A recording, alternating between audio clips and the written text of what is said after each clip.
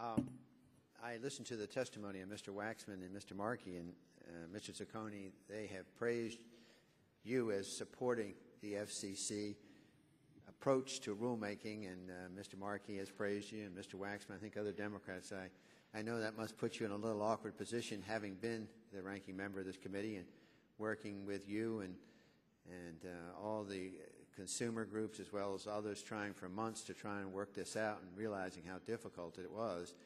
And then reading through your, your testimony, I think maybe this will clear it up for Mr. Waxman and Mr. Markey a little bit.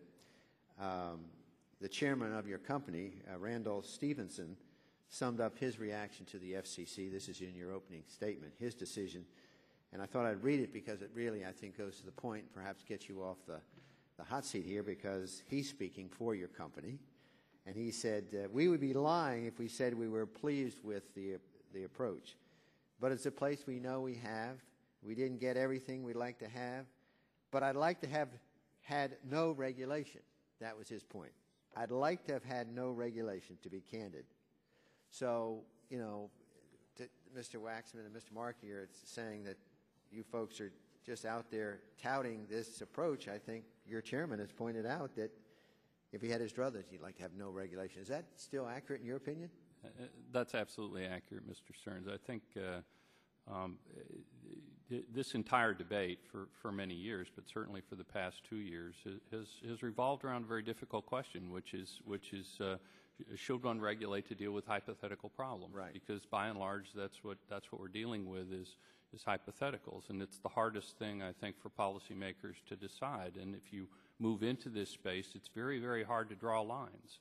And this is one of the things that that worries us the most about uh, about moving into this area. Um, it was it was stated earlier that. Uh, um, um, you know, uh, different members of the internet ecosphere might be regulated in a, in a different fashion, some regulated, some not. And inevitably, the danger there is, of course, the government gets into picking winners and losers. And, yeah. and our concern, of course, is, is not only with that, but with the fact that the government doesn't do this very well. Yeah. Dr. Kovacs, um, in looking through your testimony, uh, the aspect about your opening statement, we talked about the transfer of wealth from broadband internet access providers to application providers is accurate, but you say it does not seem to grasp the problem for both parties. Um, so you say it provides those who ride the network with a strategically vital financial weapon to use against broadband internet access, who in many cases are their competitors to put it in another way, it takes all bargaining power away from the BIA. You might just confirm that, what you mean. Um, a couple of different things. For example, one of the things the FCC did not look at is a situation in which Google might decide to withhold its services from Verizon in Boston, but continue to provide them to Comcast, which would, I think, become a huge problem for Verizon uh, retaining customers.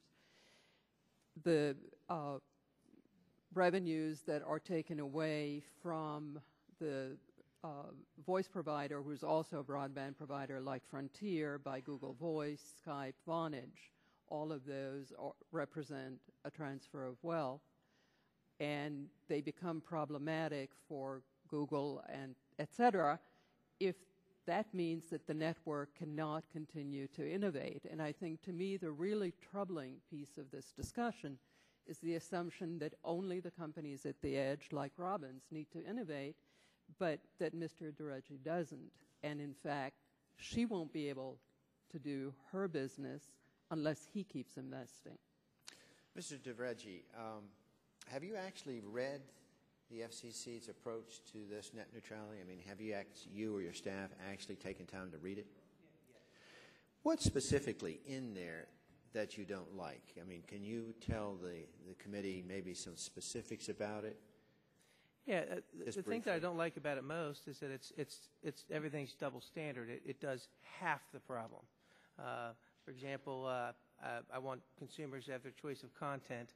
Um, uh, but it doesn't it doesn't really give that. You know, it, it, so right, it's too, right. it's vague right. in, areas you think it should be precise. Would that be? It, exactly. It's also very vague. So because of it, it allows the, it to be interpreted by the person who just happens to be in the office at that specific time who could have a completely different viewpoint of what those terms mean. And because it's vague in this point, does it create uncertainty to you in terms of investment?